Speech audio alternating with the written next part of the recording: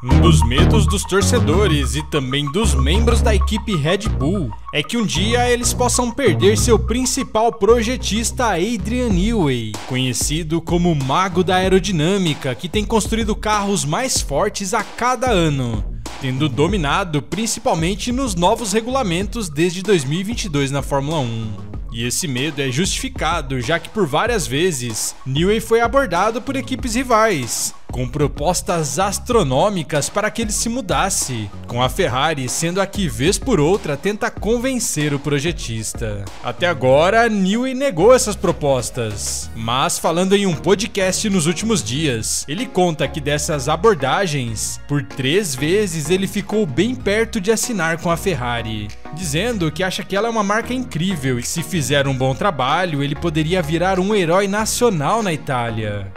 Porém, tinha o lado ruim, que é a pressão que existe e o modo de trabalhar dos italianos, que são bastante severos com os funcionários quando as coisas não dão muito certo, sendo isso o principal motivo que o afastou de aceitar as propostas. Além disso, Newey conta o principal motivo de não ter aceitado se mudar de equipe, que é o fato de estar envolvido com a Red Bull praticamente desde o início da equipe, acompanhando e evoluindo junto, até chegar a um ponto que ele se sente confortável em trabalhar. Para ele, estar na Red Bull é como estar com sua família, e trocar de equipe seria como abandonar sua família, o que não seria fácil. Mesmo assim, ele finaliza suas declarações dizendo que não pode garantir que nunca irá trocar de equipe, já que seria errado de sua parte falar isso, mas confirma que pretende continuar na Red Bull por mais algum tempo.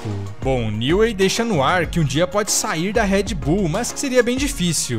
Então me conte aí o que você pensa. Ele deveria mesmo tentar carreira em outras equipes? ou se manter na equipe dos energéticos até o final de sua carreira.